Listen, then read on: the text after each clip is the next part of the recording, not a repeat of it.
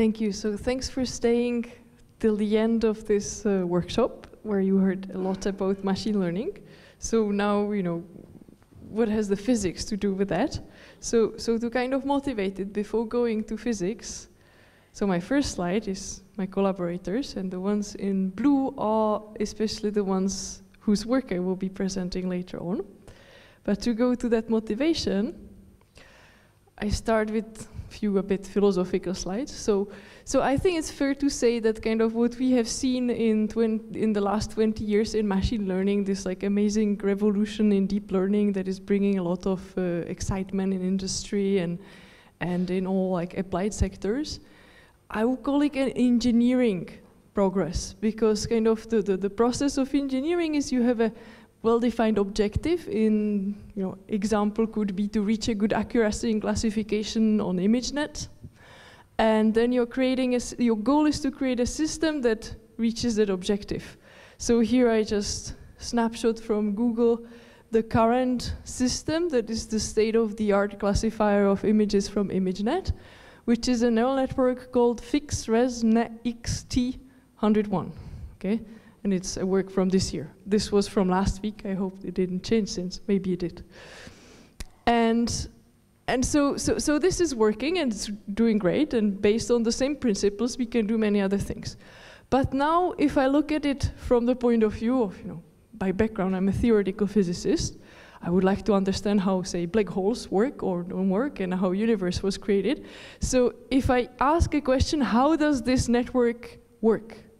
I mean, I can code it, I can see the code, what it does, but how to choose the architecture, how to choose the algorithm, what properties of the data actually make it work, it's very fair to say that we just have no clue, basically. We are in the infancy of understanding that.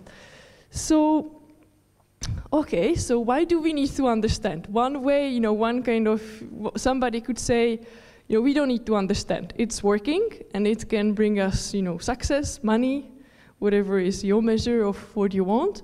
Sure, that's one way to answer. But, you know, there are people in the world who still want to understand. I think understanding is kind of the, the, the internal drive for many of us. So, so here I give you a little piece of an article that I have read recently with three of questions that I think are very important to understand about deep learning and how it works that we don't yet understand. So to go through them, why don't heavily parameterized neural networks overfit the data? So if you went through some courses in, uh, in say, statistics or data analysis, you learned about the variance bias trade-off. If you have more parameters, then you are basically fitting the noise and you are hurting your generalization error. That's kind of what we uh, learn very early when we are uh, learning about machine learning. The mystery of deep neural networks is that this doesn't seem to be the case. We are, we are training the, the, the, the models that are hugely overparameterized. The number of parameters is sometimes way bigger than the number of samples or the dimension or any of these numbers. Yet we are not hurting the generalization error. It seems the generalization error keeps decreasing. So where does it come from? The second question what is really here the effective number of parameters? So if, for instance, we are thinking of something like classifying ImageNet, there is the dimension of the image, the number of pixels, but surely the whole set of images don't live in that high dimensional space. There is some subspace in that space that they cover, and how to kind of define the effective dimension here, that would, some number that would then directly translate to something like how many samples do we need to be able to learn uh, with the given accuracy to the sample complexity. We don't really have understanding of that in any like usable way. And the third question, why is backpropagation, that is just a very silly gradient descent in the loss landscape, not heading for a pure local minima because these loss landscapes are non-convex and very complicated. Yet we are heading to some, maybe not minima, but to some space in that landscape that generalizes well. So what is kind of influencing the dynamics here? So I have read that article recently, but it was kind of striking in making my point about how you know we didn't move so much in the 20 years as much we did on the engineering side. Is that this snapshot comes from an article called "Reflections After Refereeing Papers for NIPS." Back then, it was still called this way. That was written by Leo Breiman in 95. So this is 25 years ago. And these are still the currently, you know, kind of pressing questions about how really these systems and why they are working. So they are still not answered. So to continue, two more slides on this kind of more philosophical intro introduction, is how do we go towards the theory of deep learning? What, do, what is missing? Why is it so difficult? So I kind of like to put it in this kind of diagram, that it's an interplay of three ingredients. So when you think about deep learning, there is the algorithm, the backpropagation if you want, there is the data structure, and there is the architecture. And they really must go hand in hand why is, uh, to, to understand how really these things are working and why. So why is it so, right? So say that we would not put, we would not put into the consideration the algorithm. Well, then we are in the realm of something like approximation theory or learning theory. But if we are not putting the algorithm in, then we have no guarantees that these are actually tractable problems. It can take exponential time to reach whatever we can prove solutions exist. So we do need to keep the algorithm in mind because otherwise we are heading to exponential time in the dimension and it's just not what's happening and that's not, that would not be interesting. On the side of the data structure, it, you know, we need to model the structure in the data. If we are not doing that, then what is going on is that we have uh, works back 30 years ago, 25 years ago, in computer science that tells us that even very simple architectures are NP or simple problems are NP hard to train, meaning that there is kind of an adversarial set of data, data set for which we do not have polynomial, you widely believe we do not have polynomial algorithms. But clearly, you know, this is a worst case setting, so we could say like in practice, this worst case doesn't arrive. But what do we really need from the data to be, what is the magic property of the data that doesn't make them worst case? Like we don't know, and if we don't put the data in, then we are including in the modeling the worst case, so then again, deep learning cannot be working in such generality. And finally, the architecture, so that's a little bit like less clear why that should be from the theoretical point of view. We don't really have a proof that we really need multi-layer, say more than two layers neural networks, but kind of the empirical evidence seems overwhelming that having many layers is advantageous and without having many layers is not working so well. So then we better consider the architectures that kind of correspond to the, to the current ones. So somehow to illustrate that these three ingredients that we need to be considering together are, of, are not considered together is that I put in this diagram the kind of traditional theoretical fields that are studying things related to machine learning. Right? So computer science and optimization theory deals with the algorithm, but ignores the data structure and the architecture often, most, you know, most of the time.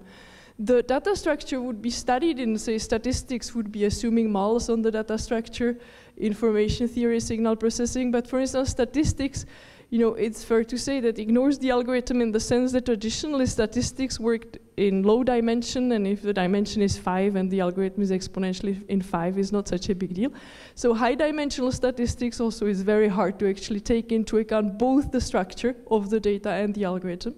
And on the architecture side, we have all these like well-known results in approximation theory that are telling us that the function that neural network represents is generic enough and can, and can approximate very generic class of functions.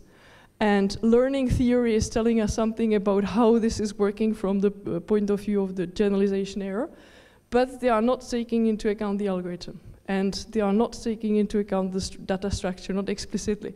So they are basically not communicating. So of course, these days people are realizing that without taking these three directions together, are, it will be hard to move on.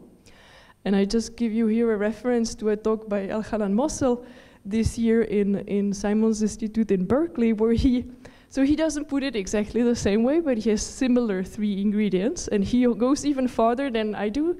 He like takes the list of kind of influential theory papers in the last say two years, and he and he rates them for each of the three ingredients. He, he, he says like how well they are taking it into account, and you kind of see that there are many that are like nine zero zero or nine one or or zero nine uh, one. That basically always there's one or two of the ingredients. So Okay, to go to the physics now. So how is kind of physics like helping us with that? So first of all, you know, where does kind of the, you know, the, where, where, does physics come from?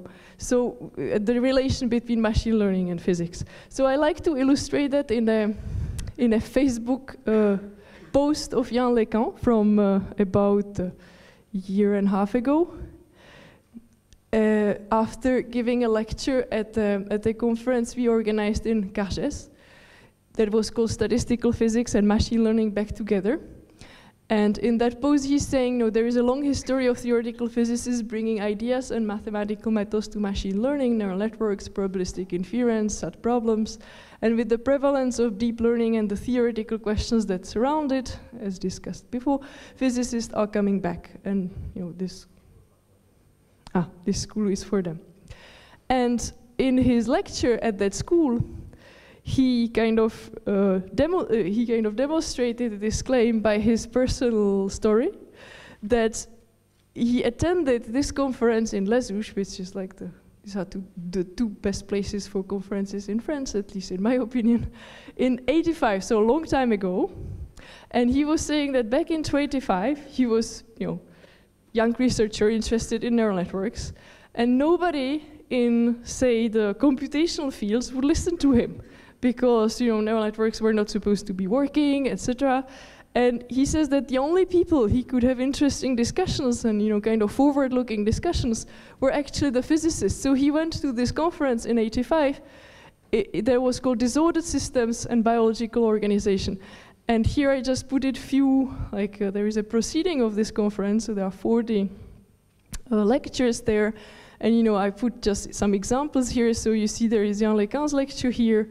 And then many of you will know, for instance, uh, Isabelle Guyon. And then and then there is John Hopfield that is kind of universally known. You know, he's a physicist by background. And then the physicists in the audience will know Marc Mézard and Virasoro and Gérard Weisbuch, especially the, the French ones.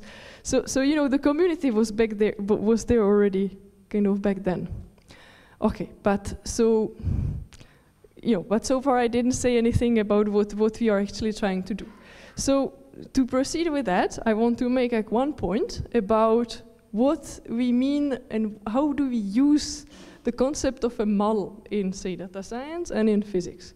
So in data science, model would be some kind of a ansatz for a function that you're trying to fit to your data. So you believe that, you know, this is some function that is like closely enough explaining where the actual data that you have come from. So for instance, I don't know if you do linear regression, you're fitting the best straight line that captures the dependence on y of on x, so this straight line is the mal. But in physics, we would not really call that the mal, we would maybe call that ansatz. In physics, mals is something else, like it's something that really serves, it's, it's really something reducing the complexity of the problem to the absolute minimum necessary to explain kind of the salient features of what's going on. And crucially, it's totally fine if in physics the models are actually not describing the real data. So, so to illustrate that, I give you here the example that you know we teach to every like, master student in physics, which would be the Ising model, that explains the notion that the magnetism is some that there is a phase transition in magnets that if you take a magnet and heat it up to say 700 uh, Kelvin or Celsius, I don't remember, then it will stop to be a magnet. So there is a phase transition from the magnetic to the paramagnetic phase. And explaining such a property, you know, we teach this Ising model, which is basically here is reduced to, to, a probability measure on binary variables. That is uh, that is a, that is. Uh, you know, as I said, probability uh, measure with this function here being, you know, some simple function of these variables. So it's not that we really believe that magnets, you know, interact this, that, that spins in magnets interact this way. Well, they don't. I mean, we have all quantum mechanics of how actually they do interact, and it's way more complicated than this, right? But reducing it to something like that reproduces the phase transition. It doesn't do it at all at the right temperature, but kind of the notion of what's going on is there. So, so, so that's the whole point here. We would like to have some mal for the architecture, the data, and the algorithm that kind of keeps the salient features of what's going on in deep learning, but that is analyzable, that is tractable analytically, for which we can compute things. So, you know, that's basically said here. So we aim to reproduce the salient behavior the, of the real system. And how do we do this? Usually it's not like the first idea that we come up that is the right one, that it's an iterative process. We like try a model, look how it behaves, something is missing there. So we put it in, in the same way as say, you know, general relativity improved uh, Newton's, uh, Newton's law by realizing that at high speeds and uh, high gravitational pull, it's not quite working. So, okay, you know, maybe not so ambitious, but that's, that's the idea.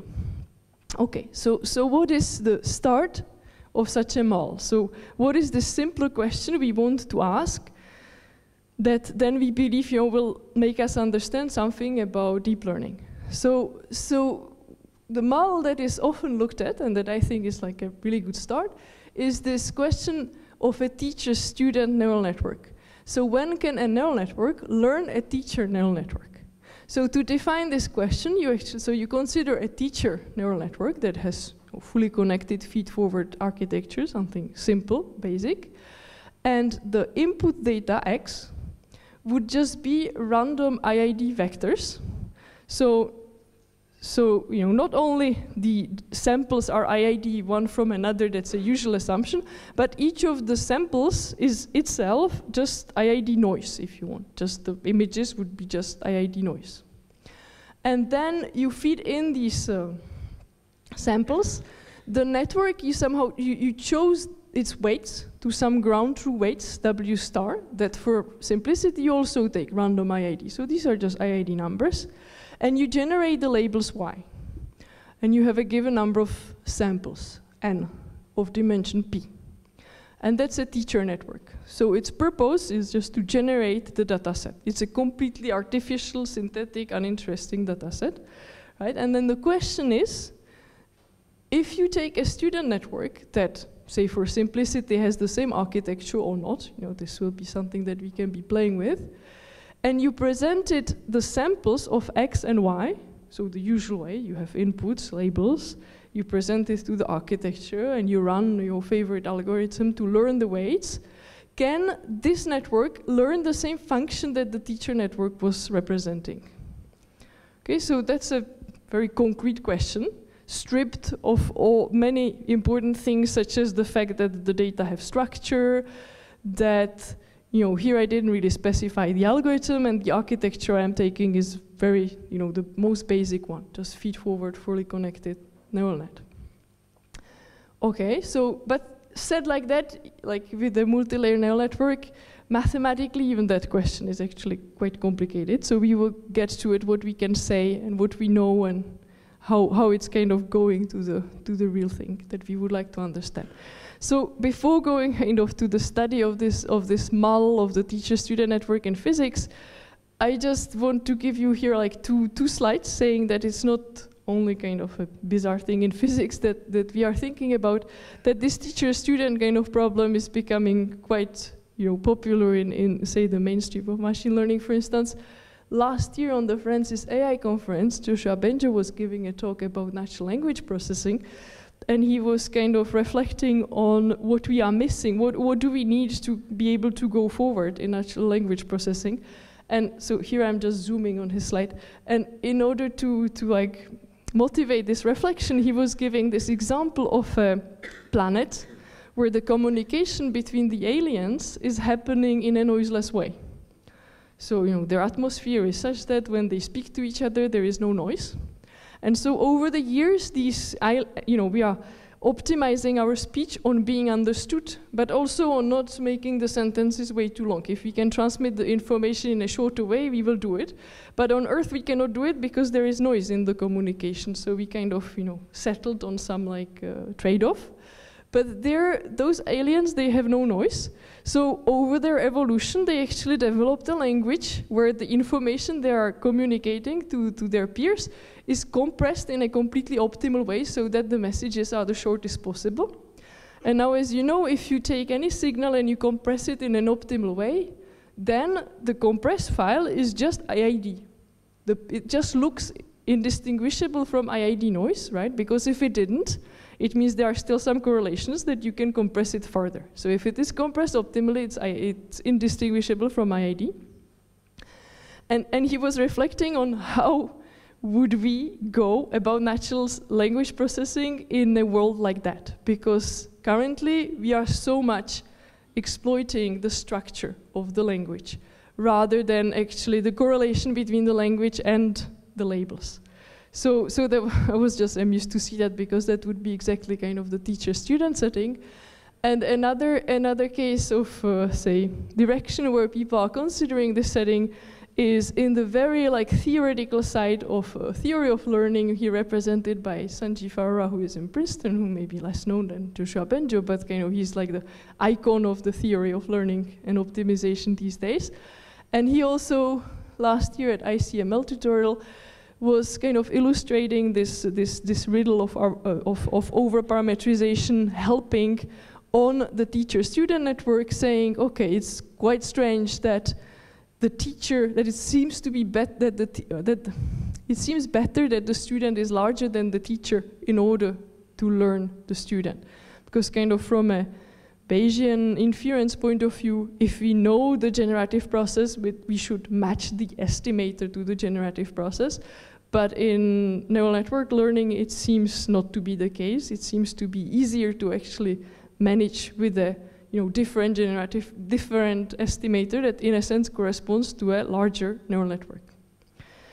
Okay, so to go, you know, so this is from last year, but the model in physics is studied since a long time. So concretely since 89 in, a, in a, the work of Gardner and Derrida, but back then they didn't study the multi-layer case. They studied the simplest possible version where you don't even have hidden variables. So the teacher is you know, generating labels by taking the input data, multiplying by a vector of weights, and say applying a sign function here and outputting the label. And the goal of the student is then to reconstruct the same function or the, the, the, the vector of weights that's one way to reconstruct the same function from the sample of, of x and y. So this in a sense, is a generalized linear regression because linear regression, this function would be just linear function, and here it's a, a sign. And what's more interesting is that, you know, in 89, very little of the actual statistics was high dimensional. That's a long time ago, right? High dimensional statistic, people realize that it's relevant and important and some things are doable kind of maybe later. But they were in the high, you know, what we would call today the high dimensional setting, where the number of samples and the number of and the number of dimension are both large and comparable to each other. Their ratio is some constant. So that's kind of interesting that in physics this is the very natural limit from like very early on. And what they were able to compute or a follow-up work, but the same work or year or just year after, they were able to compute something that we would love to have in something like deep learning, but we are very, very far from being that. But for a simple model like that, they were able to compute the optimal generalization error that any algorithm is able to reach as a function of this parameter alpha that was the number of samples divided by the dimension. And this is for a case where the teacher weights happen to be binary vectors. And in this particular case, for instance, they realized that the best generalization error that we can reach with even exponentially costly algorithms actually has a jump at a well-defined value of this parameter alpha, uh, this one. And this, you know, in a physics sense, this is a phase transition, just like water is, say, freezing or, or evaporating. Uh, this is a first order phase transition in the generalization property, irrespectively of how good is the algorithm. This is an information theoretic statement. So, so there is something you know, interesting that we can compute, and they did it, oh yeah, I write it here, with, with, uh, with somehow an analysis method called the replica method. So now I will jump, you know, I could stay 30 years ago for a long time, but I will jump to today and kind of summarize what is our progress on this type of, uh, of this type of model today. So, you know, we, we have a, we have kind of a formula for this generalization error for any activation function and general class of priors on the teacher weights. And we actually also have a algorithm that is matching or not, and we have a good understanding of when it does and when it doesn't this optimal performance. That's a polynomial tractable algorithm. And we also have a proof that this formula actually is the right formula because back then this was you know, without kind of the epsilon and deltas results. And you know, rather than showing you like how these formulas look like, I want to show you some examples of what is, how this generalization error behaves to kind of motivate uh, the next part. So for instance, in a case where the activation function is a sign and the teacher weights are just Gaussian, the red curve is the optimal generalization error. The black dots is the performance of the approximate message passing algorithm and the theory tells us that they should agree, they do agree.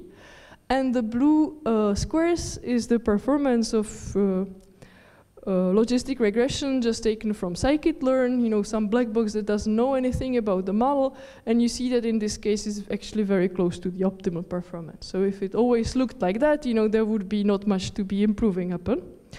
But it doesn't always look like that. So for instance, this is the case where I only, the only thing I change, I take the teacher weights binary, so that was also five, five slides ago, and in this case, things are a bit different. So red curve is the optimal performance. So that's the one I already showed you. Black points is the performance of the approximate message passing, and the green curve is the analysis of what this algorithm does. And you see that there is a gap between the red and the green. That's kind of a hard phase where we believe that no polynomial algorithm would actually get that generalization error. But what's maybe even more interesting is the blue points, that's again the result of the black box logistic regression, that are totally not picking this behavior here. Right? They are just decreasing slowly down and not picking that something interesting could be happening here. So there is a gap between the optimal performance and the performance of the logistic regression here. But there are some cases that are even worse. You know, you could say logistic regression is a bit weak. It's not a very good classifier. But in this case, where we again take teacher weights binary, and the activation function this time is what we call the symmetric door. So we take a sign of absolute value of the scalar product minus some constant, such that half of the labels are plus one and half of them are minus one. Then you know we have our theory that is pretty much saying a similar thing as before, but in the inset we actually tried to solve this classification problem with uh, you know multi-layer neural networks.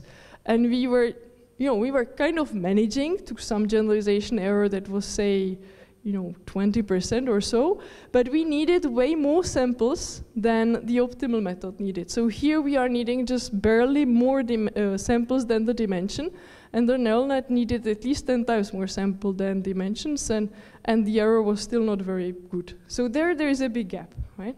And this is a very simple model. So we would like to understand in practice what is this gap, how far from the optimality we are, and how much can we still improve these systems, or maybe not, etc. Okay, so you know, to wrap up a little bit, this was a very simple model. So is this bringing us anywhere close to the theory of deep learning? So let me go back to this diagram, where we are in this diagram. So what I just described is in blue, is you know, the input data were IID vectors, and the outputs were teacher outputs. So that's not a very realistic uh, data structure. The architecture had no hidden units, so that's not explaining what deep learning is doing. And the algorithm was not even the, the backpropagation, but it was this message passing type of algorithm. So where we would like to get is to analyze gradient descent-based algorithms, have some realistic structure, and analyze the multi-layer case. So now in the remaining time, Oh, I said that building the right model is kind of an iterative process on improving the existing ones. So I take the simplest possible case that we have so far and go once through the loop. And then, you know, we probably need to go several times to kind of build something satisfactory. So I will go once through the loop, starting on this side of putting in the hidden variables. So what can we do on that side? So yes, we can generalize this, uh, you know, these results and put in hidden layers and variables. But so far, in a quite limited case, where still the number of samples and the dimension are both large with a fixed ratio, but now the number of hidden units is of order 1. So they can be 5 or 100, but they need to be order 1 while these two numbers go to infinity. The, the, the, the expressions that we derive are valid in that limit. And again, that's a, that's a case of a neural network that you know, in the physics literature was studied and suggested long time ago. We kind of put it on a you know, rigorous ground and, and put it together with the, the algorithmic tractability and more with the current questions in the last NeurIPS uh, paper. And you would think this is, you know, this is not much, but it's already something that is, you know, putting to evidence some interesting facts that practitioners know about that I am illustrating on this slide. So here I take the simplest non-trivial case with just two hidden units. And when we analyze what's actually going on in terms of the optimal generalization error, we realize that in terms of the sample complexity, so how many samples per dimension we need, there is a kind of new type of a phase transition that separates the regime of just few samples, where there is nothing better to do than linear regression. And if we have more samples than that, then actually doing learning with several hidden units, so doing more than linear regression, starts to get better performance. And this is again an information theoretic st statement, but in practice we know that if you have few samples, then most often deep learning is not very useful and just kernel ridge regression or something like that is basically something from which we get the best performance. And in order to get advantage from deep learning, well, it's kind of sample hungry. So, so again, this, you know, this number itself is not so meaningful because here the data, the input data are still IID, so this is not realistic, right? So the number itself is uh, maybe not interesting, but the concept that there indeed is a sharply defined transition between a regime where indeed, if you don't have enough samples, then information theoretically you cannot do better than linear regression, and if you do have more than that, then you actually can realize that the the network can start realizing that there were two hidden units and then specializing them or separating them to their specific you know, features, if you want, is actually computationally is actually better. So, so, so that's one thing that we can observe here.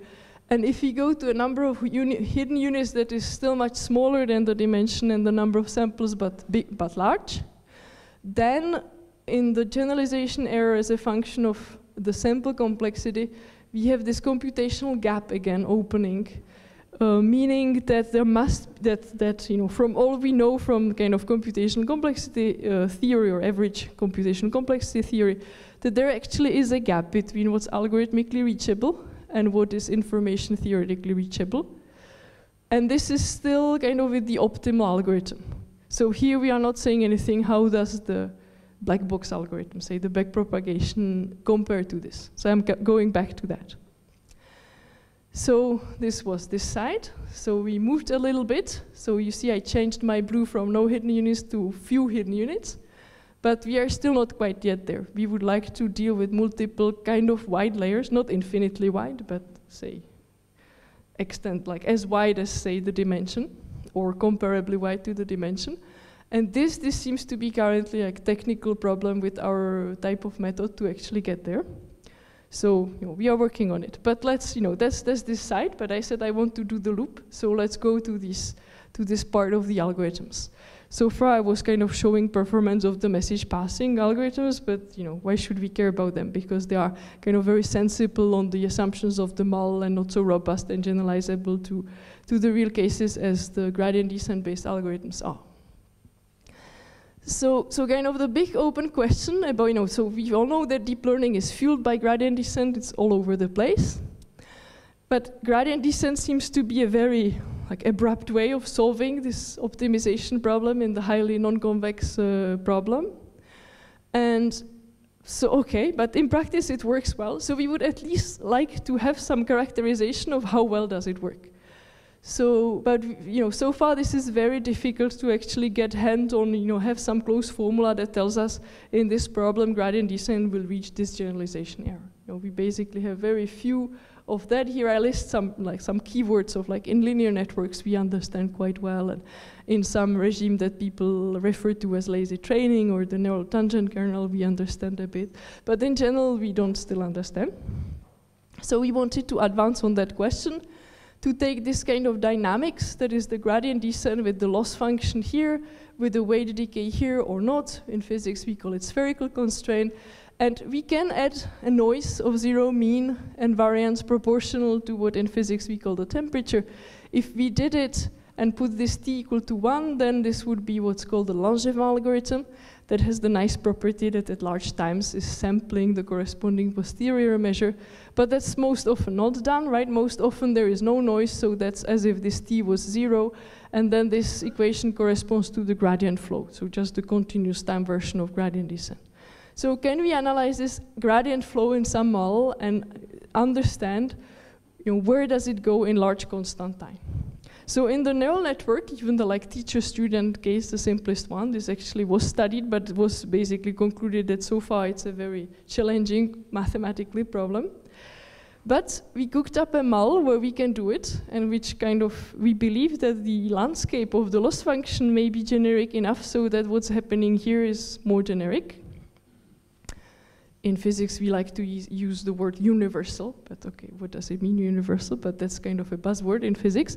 So what is this model? It's a, it's a kind of matrix tensor factorization problem. So actually some people use this model in the data science sense in, in topic modeling, where for instance, you have topics in a document and then you observe correlations between pairs of words and correlations between triples of words. So at the end you have this matrix and order three tensor. And then from these correlations you try to infer the topic. So that actually ends up very similar to what I'm writing here. So this is an inference problem when there is some signal x star, which later will be hidden and we will be inferring it, that we just take this vector x star and it's, out, and it's you know, transpose and add a lot of noise to this. This n is large, and this is order 1, and observe this matrix. And we do the same with a pupil of the components of the signal and noise here and observe the tensor. And this leads kind of, if we wanted to solve it in a, you know, with the maximum likelihood method, then this would lead to a loss function of this type that is actually known in physics under the name of mixed 2 plus p spherical spin glass model. So, okay, this may sound horrible if you never heard about spin glass models. But the key thing is that for a loss function like that, which is high dimensional, non-convex, so a priori we have very little clue of what the gradient descent would do in a, in a loss function like that. We actually can write uh, closed form equations of what the gradient descent is doing. And the kind of inspiration for that, for those equations comes again from physics work long time ago that you know is totally unknown, I think, in the machine learning literature, but it's very well known in the physics literature because that work stands at the basis of our understanding of glasses, the window glasses or structural glasses, how the dynamics of these materials actually works. So, so, so in that part of physics, this work is very known, and they, they write, uh, you know, in a very related model set of equations that, that describe what the gradient descent is doing. I will show them on the next slide, and there is also this work on, you know, probabilists that some of them you might know, especially Alice since she is in France, that actually prove that the equations they write are the right ones to describe the dynamics. And here is how those equations look like. Of course, not, do not expect you to understand, just to give you the idea. So they are written in terms of three kind of order parameters and are these integral differential equations. So it's nothing like super, you know, transparent, but there, the dimension the, the, dimension that goes to infinity is already taken it's not anymore there so these are not anymore high dimensional equations they're just some integrals but just one-dimensional ones. So you need to solve them with some numerical software, right? But nothing super complicated. So we solve them. And then this gives us a following phase diagram. So what's on the axis? So here is the noise on the tensor, and here is 1 over the noise on the matrix. So this means that if both these noises are big, so we are somewhere here, oh, sorry, here, here, then the signal is, is hidden in the noise. Nothing should be possible, and that's indeed the case. In this corner, we have a whole range of these parameters where information theoretically it's impossible to recover the signal from the observations. Then there is the hard phase here. Then this whole green region is a region where the approximate message passing would be working and recovering nicely the signal. But the gradient flow will be working only above this, this line here. That's the result of our analysis. Okay. So, you know, what's kind of the popular, say, optimization theory explanation of that? So the popular explanation is that as somehow the signal to noise ratio increases, this non-convex landscape has many spurious local minima that trap the gradient descent, and the good one that generalizes well is there, but is kind of hidden by the spurious ones. And then we need to wait, wait, wait, that the signal to noise ratio is so big that the spurious local minima all disappear. And then the only one that is left is the global one, and so the gradient descent happily goes there. And in the kind of line of work in, say, last five years, in, say, computer science and kind of learning theory, there are many works trying to show that, or, or showing, managing to show that under different conditions, neural networks lie in this regime, right? So there is kind of this underlying assumption that all the spurious local minima need to disappear for the algorithm to work. Okay, so now in this model, this model is so nice that we can actually completely characterize how many spurious local minima there are at a given m here would be kind of the accuracy or analog of the accuracy, and a given likelihood, the, one, the likelihood corresponding to the tensor and the one corresponding to the matrix. So this again is a horrible formula, but we can exactly evaluate from this formula where this trivialization transition happens, above which line we no longer have the spurious local minima. And if I plot it, it's a line like this. So it kind of has a similar shape as the line at which the gradient descent starts working, but crucially it's not the same line. So this means that this popular explanation is not quite the right explanation, right? There is a region where there still are spurious local minima, but the gradient descent is not being blocked by them. So how to, you know, how to, how is this possible? So actually from our analysis of the equations, we can like look at it a little bit more and we actually realize, you know, if we kind of look at the trajectories of how the loss function decreases as a function of time, we see that there are kind of plateaus on which we either are blocked or not, from which we escape. And these plateaus, if we escape from them, it's directly related to the rise of the accuracy during the run of the algorithm. And if we kind of put that into the equations, we can actually this equation would mean, you know, where are these plateaus? And this equation would be, is it stable or unstable to stay on the plateau? And putting them together gives us a new expression. And if we plot that expression, that's actually the blue line. The black dots was numerical integration of the, of the uh, differential equations. So this is explaining what the gradient flow is doing. But that might sound a little bit like abstract, like what is it actually? So let me like correct this popular explanation into the right explanation. So it's not really about the spurious local minima being there. They might be there. What matters is where the dynamics goes and where it's, you know, would be blocked if it wouldn't be working. And it so happens that we can characterize where this is. This would be in the most numerous and highest lying local minima. And so what matters is whether those are stable or whether those have a you know, negative uh, gradient direction towards the minima that generalizes well or not. And this is precisely what we can analyze. So, so it's not about the existence of the spurious local minima somewhere there, but it's about where the gradient goes and whether those minima actually are or not unstable towards where we want to go. And so this is kind of correction of this, uh, of this, um, you know, kind of explanation that is not quite right with just the spurious local minima. So just to conclude on this part, the gradient flow works even when spurious local minima are present sometimes, and we can quantify it using this Kac-Rice formula. And this is really, I think, first time that we have a like, kind of cl closed expression of a threshold up to which the gradient descent works. And kind of interesting question is whether we can do this beyond the present model, and it seems like we can because the final explanation we gave is kind of independent of being able to write these horrible integral, integral differential equations, so that's what we are working on now. And I have a part about this third part, but before going to that, I need to ask how much time I have. Ten, I mean, 10 minutes till the end, but is there a time reserved for questions?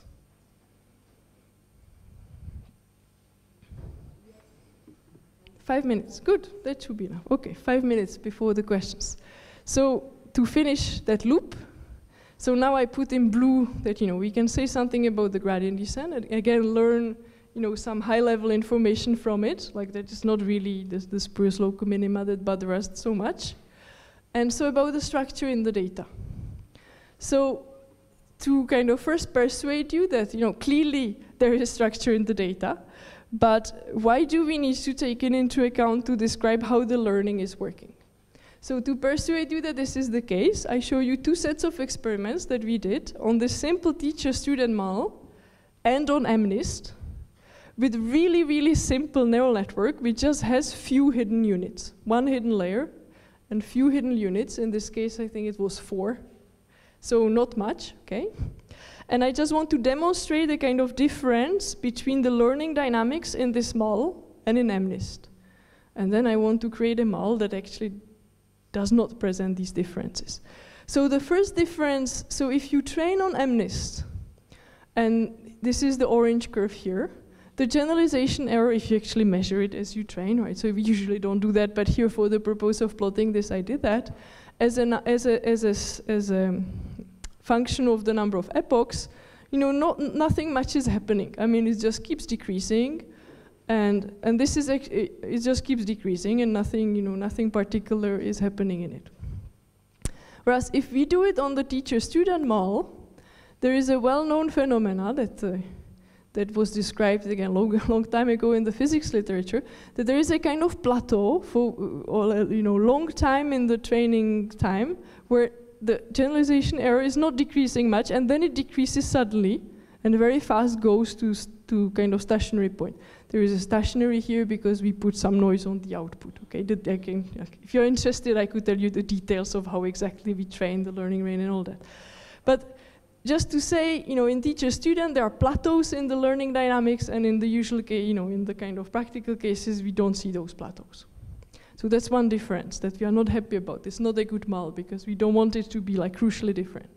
And another difference that is illustrated on this picture is that, so on MNIST we did this following thing. So we train it, you know, in the usual way, just few hidden units. But what's unusual is that we train it twice from different initial from different seed, which means that the random initialization is just differently random. So we train these two independent students or two independent uh, you know, neural networks. And then we plot the generalization error as a function of the number of hidden units, which is the blue, so it decreases a bit, okay, nothing particular. And it's not particularly small, because the neural network is very simple, so it's about 10% error, so which is not great. But that's not the point here. And then we plot uh, the orange curve, which is how often these two independently trained neural networks agree on the MNIST test images. And we see that they agree, uh, you know, for few hidden units almost always, and for more hidden units, you know, uh, basically as often as is the generalization error. So that kind of makes sense. You know, you learn something about the data set and you agree hence often on it. But what's interesting is that if you compare the output of these two independently trained students on not the MNIST test data, but on random IID vector, then they basically never agree. They agree as often as uh, you know, random functions would agree. So in half of the cases, this is just binary classification between odd and even digits in MNIST. So what is this saying to you is that the two independent students, even in such a simple case, actually do not learn the same function. They learn the same function on the manifold kind of on which MNIST lies, or kind of close to the man. If you approximate the MNIST dataset by a manifold in the input space on which it lies, there they agree. But on the rest of the input space, they just don't agree. They just behave to each other like two random functions. But, but this is not reproduced in the teacher-student uh, model because in the teacher-student model, the student is exactly learning the, the weights of the teacher, so it's just learning the same function on the whole input space, which is demonstrated here. You know, the green points, they just go to zero as long as, as soon as the number of student hidden units is bigger or equal to the number of teacher hidden units. So again, a difference that we would like to get rid of. And to get rid of it, we need to come up with a better model. So we call it the hidden manifold model, which is, you know, we, we kind of mimic the intuition of what's happening in MNIST, but In which way? Well, in a way that still kind of keeps the structure so that we can write our theory and analyze it with the same methods. And so what is this model? The input data will not be any more axes that are IID random as they were in the vanilla kind of teacher-student model, but there will be some nonlinear function on product of two random IID matrices.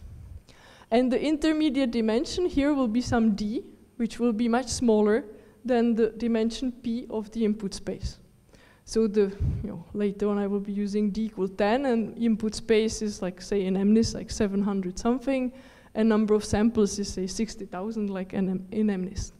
And then the labels, you know, in the teacher-student model, we, we were just feeding the inputs into a teacher network. But doing that is not will not reproduce, and I, I can show you, or maybe I will not have time, but we show that it's not reproducing what we are observing.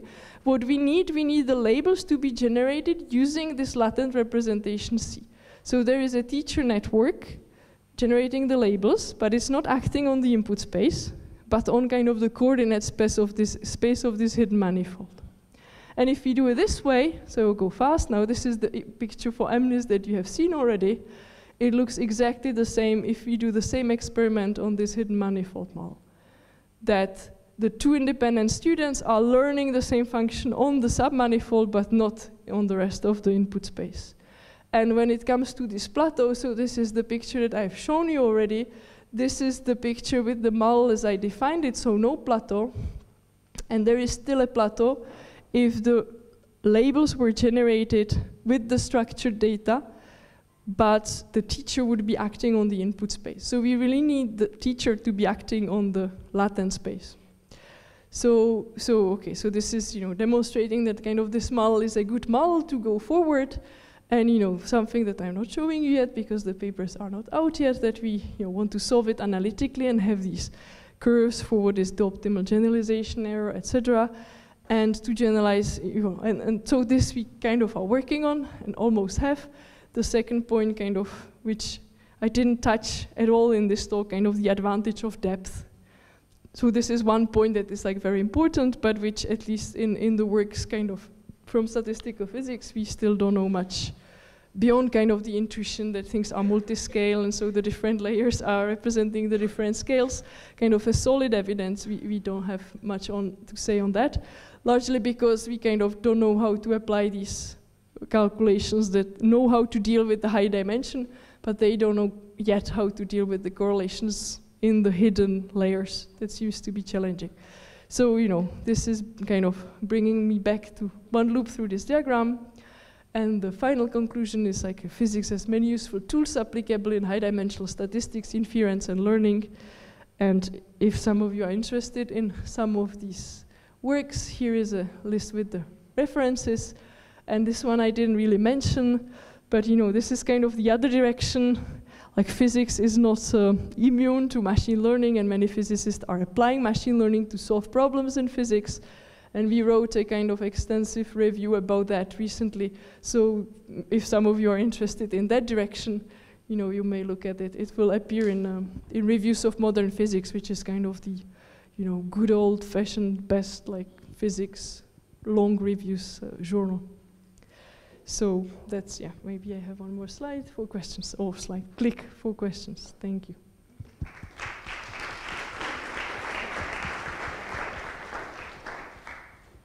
Okay, thank you very much. So, is there any questions? Yeah. Okay, so thank you for this very nice talk, and I think it's not easy to bring together all these fields and and tools uh, in the same in in the same topic. Um, so I just want to check if you understood correctly. So basically for the teacher-student uh, analysis, uh, you assume that the inputs are IID, the weights are also IID, but yes. probably uniform or according to, yes. I don't know what distribution. From some distribution. And, and then, but the, the network may grow in deep uh, sublineary, right? Has to be less than the, I mean, yes. it has to be O1 according to the number of samples. Yes. Um, so um, I'm just, I don't understand uh, what's happening with this uh, hypothesis that we have that data belong to a lower dimensional manifold, which is perhaps due to the uh, uh, dependencies that you have in the spatial in the spatial space of the features. Um, and here you you lost this. So how you how we can recover this? Or yeah, so in the even last the five minutes, where yeah. I, which were going maybe too fast, I was trying to put it back, right? That was exactly the But point. until you have two independence matrices, right? When you apply this, I mean, you did for the last, the, the one of the last Yes. slides, you say you have, you have a f- nonlinear function that you apply to II, two IID matrices, in which you have like a type of bottleneck in between that Yes. reduces dimensions, but, you until the here, CUID data. Yeah, here Yeah. the matrix F would be the features, and C is the coefficients, how much or not you're you're taking given feature. So so so you can you know this this kind of language of features, and C would be the co- coordinates on the manifold, and F would be defining the features of the manifold. So now, Yeah. yes, here I am dealing with random IID features. So, you know, you like to have some meaning to your features, but you see, I cannot deal with some meaningful features because then I would lose completely the possibility to kind of carry out calculations to compute some the generalization error in some limit, you know, analyze, what, for instance, what the gradient descent is doing up to constants. I just don't know how I would tackle it. So, so it's, you know, the F here is random, so it's kind of model for random features that live in low dimensional subspace of the input space. So, you know, this is, we just introduced it and are studying it, right? So the question is, is this still missing something? Is there really something important about the features being structured in some way? So hmm. probably yes, right? Probably you need some multi-scale hierarchical structure of these features for the multi-layers to be important. At least that's what the intuition say, but this is something that I don't think like anybody puts into you know mathematical Yeah, evidence. Not yet, yeah. Thank you. Uh, Yeah.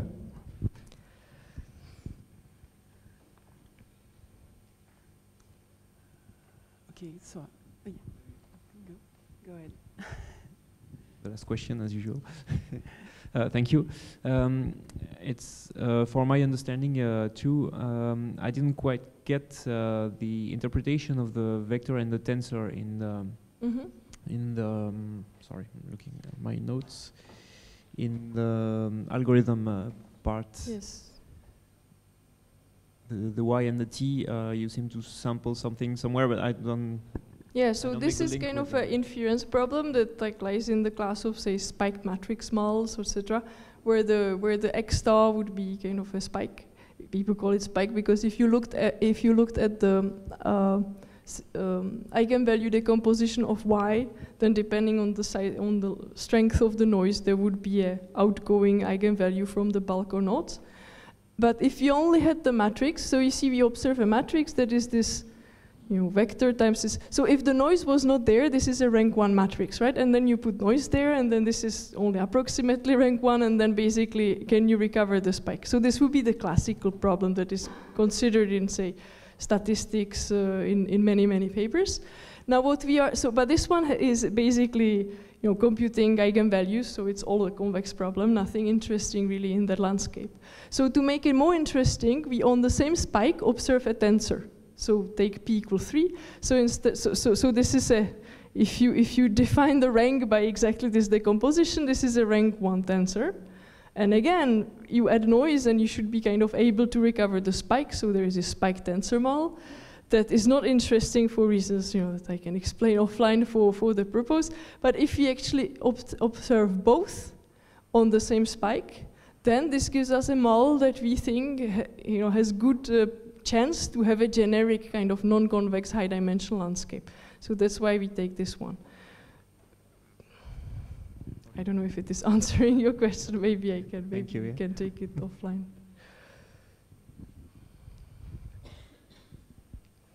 Okay, maybe I have, I have one. So I don't know. Uh, so uh, in your, analy- your analysis, is kind of universal, universal, meaning that you are you are looking at this uh, large-scale uh, limit, and you do not make assumption about the difficulty of the task you solve, like conditional probability or, uh, or things like that. So in, the case of the student-teacher, you know that the problem is uh, you can solve it because you have generated uh, uh, the data, right? But uh, I would like to know if uh, in the statistical physics you can also consider the case where you have uh, a bit of knowledge about the, uh, the problem at hand, meaning some knowledge about the, the, the Yeah, so, conditional probability end or, or some knowledge about the uh, so we, we are not like assuming anything about the solvability, but but in you know when I say that we solve the problem, we basically by solving I mean that we get very detailed up to all constants understanding of whether it is information theoretically solvable, so independently of algorithms, and what these message passing algorithms are doing. And you know, for reasons that would be for another talk, but that's kind of our surrogate for the best polynomial algorithm in these type of problems Yeah. under the assumptions that we are you know putting there like random matrices etc so so this is in a sense giving, a, giving us access to the optimum and to the tractably reachable optimum. And then you know that was the bottom part of my triangle. The goal is to compare it with these like generic type of algorithms as the gradient descent and see how much worse they are and how kind of to make them work as good as they could by, for instance, over parameterizing, etc. So, so yeah, we are. I mean, we are not assuming, but there is the noise, and we kind of uh, get access to, to all this information, which uh, which is something that kind of is uh, that we like. Okay, it's quite clear. Other questions? Okay, if not, we're going to, to thank the speaker again.